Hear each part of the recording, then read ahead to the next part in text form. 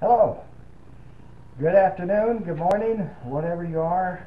Hopefully you're having a wonderful day in the neighborhood. And uh, my name is Dave Brown. I'm with Christians for Common Sense. And I have a, a degree in Homeland Security, terrorism, studied it all my life in the military and so forth. Also have, uh, I'm certified with FEMA as an emergency manager.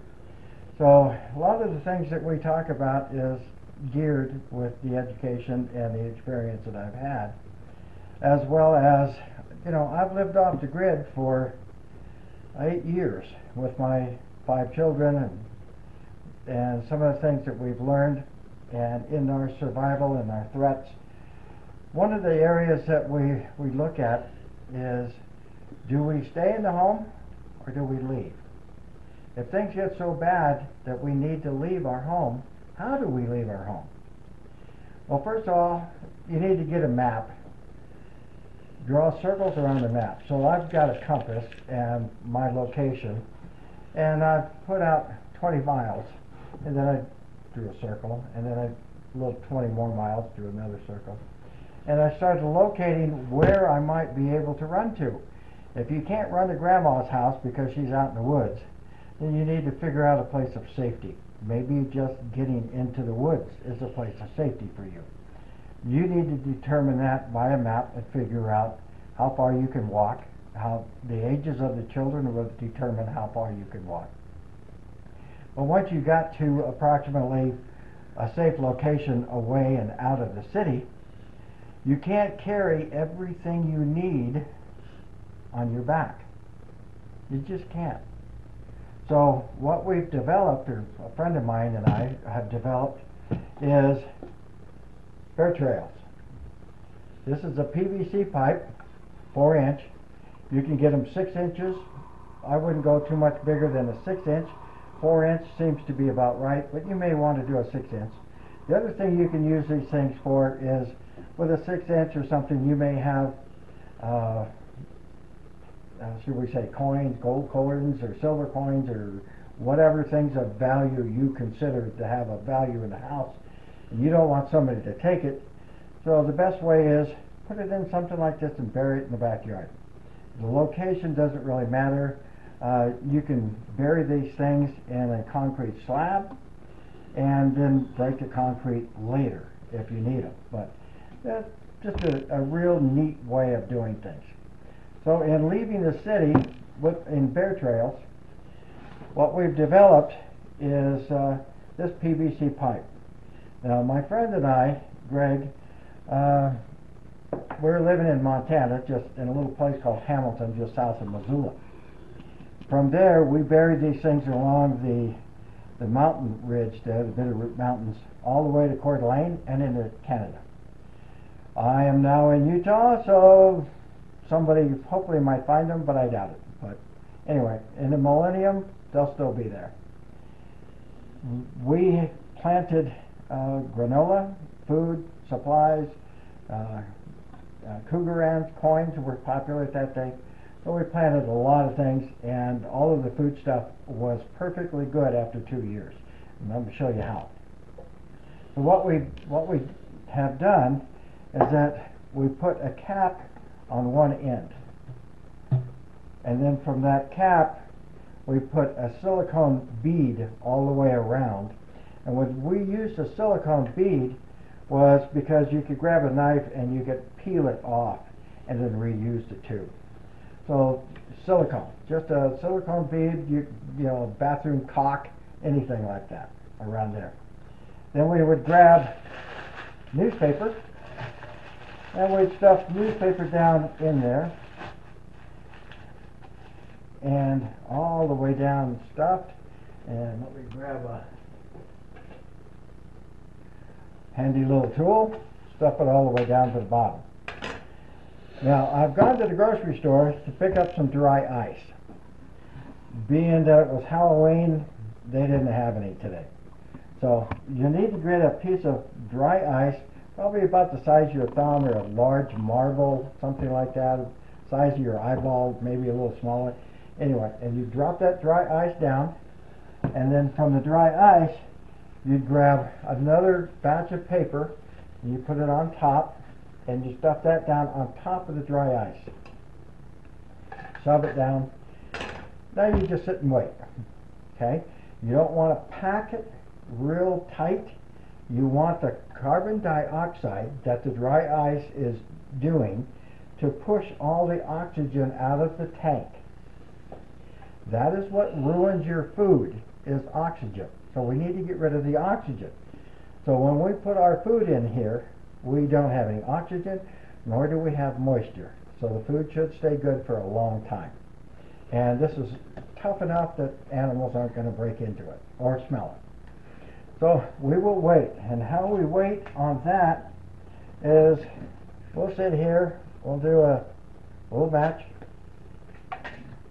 Oh, there we go. We'll hold the match on top. And when the match flickers and finally goes out, we know that this tube is now full of carbon dioxide. Now from that standpoint, my wife loves to do granola. We, she makes her own granola. So you would pour some in a paper sack. This is a paper sack. Why do we use paper sacks and not plastic?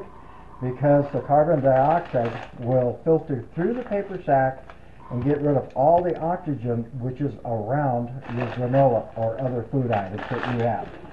So, we'll sit that down in there. We'll shove that down. The other thing is, maybe you got just, just juice. It's already in a container. Shove that down there. We'll put some juice down there. Uh, other things that you might have, how about a flashlight? Throw a flashlight down there. How about some extra batteries? And then one of the other barter items that I always carry is a little pocket knife. These things are like a buck and a half. You can buy 20 or 30 of these things, and they're very handy, very sharp. So we'll throw that thing in there. Another barter item, matches. Very handy, good barter items. We'll throw that thing down there, and we'll just it on down anything that you think that you will need at the trail at that time. You can use these things for water, food, material, hammer, nails, wire. Uh, you need to make deadfalls and snares. You can use ammo, whatever you, you know, guns, whatever you might have. And then after you got this done, you have this cap. Now you're waiting for the carbon dioxide to filter through this whole system. Holding a match, waiting for it to go out. Once the match goes out, there's still a lot of carbon dioxide being created. Put the lid gently on top. Allow the carbon dioxide to come through the lid and come out the bottom. Once again, we will hold a match at this edge, around this edge. And we want to see to make sure that this will flicker and flicker and flicker. Okay? Once that match goes out, or you can see that this cap has filled up with carbon dioxide, then just sit and wait. The, the dry ice is still creating carbon dioxide. Until the dry ice is completely gone, we don't want to put this lid on too tight. So what, might have to wait 10 or 15 minutes.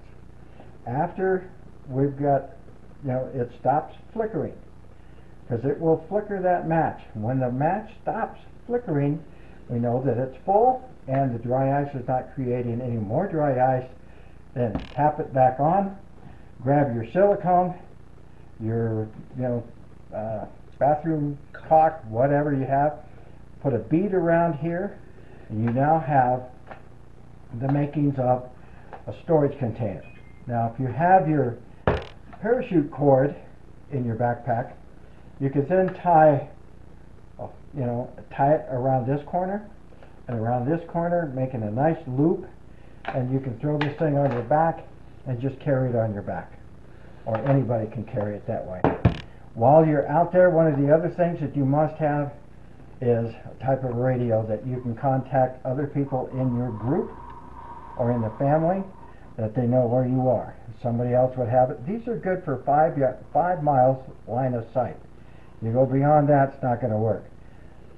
They run on batteries. You need a solar charger for these batteries, and they will last for a long time. So those are some of the things that you'll need to do with your uh, bear trails. Very easy, simple, inexpensive, but if you have to leave, if you determine you have to leave, this has got to be planted before you make that decision. So get a good map, mark it out. Now, once you've buried them, the next thing you need to do is find them. So on your map, you've got a little X. So it gives you the basic location. But now comes the tricky part. Now the Indians planted their stuff, they knew where it was, and they had their own little ways of finding it. What I'm going to explain to you is that you need to gather yourself a formula to be used to find this. Now, let me explain. So when you back up against a tree or rock, and on that tree or rock, you put a compass reading and also uh, paces. It could be in feet. If you want to do it in feet, you want to do it in paces. You want to actually measure it with a measuring tape. However you want to do that. You write it down on the rock. So it says 120 degrees and 30.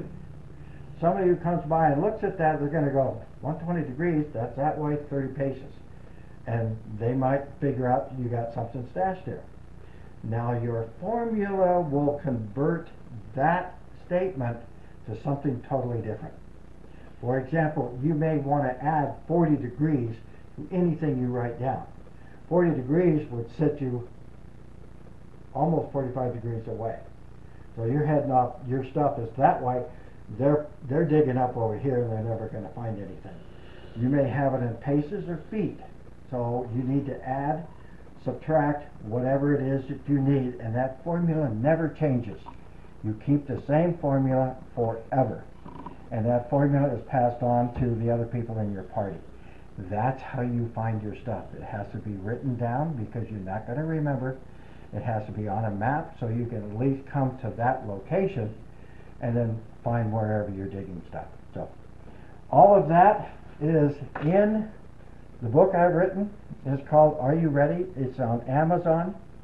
It's under my name, David E. Brown. You'll have to scroll through a bunch of other books. Now the book that you will receive looks like this, but the book on Amazon for some reason has a brown cover and it says Are You Ready? So please don't be confused by what Amazon does. And uh, so that's that. We owe it to our friends and relatives to bring them on board, to show them if you have these books, give them out for Christmas gifts. And I am Dave Brown. Gosh, I'm, I'm really grateful that you've come by. Please share this video as many places as you think worthy. We're not trying to make money, we're trying to save lives. So anyway, thank you for coming by. Dave Brown. I'll catch you on the flip flop.